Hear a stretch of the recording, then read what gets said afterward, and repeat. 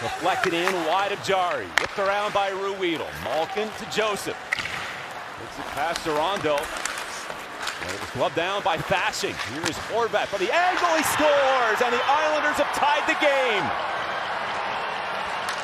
Bo Horvat with that heavy shot gets it through Jarry. We're tied up at two. From the goal line. Horvat didn't waste any time.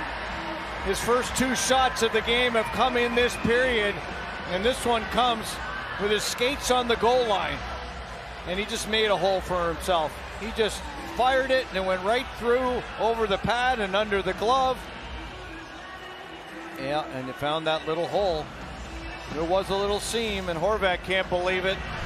Nor can the Penguins faithful here. We are tied at two. This pesky Islanders team, they do not go away.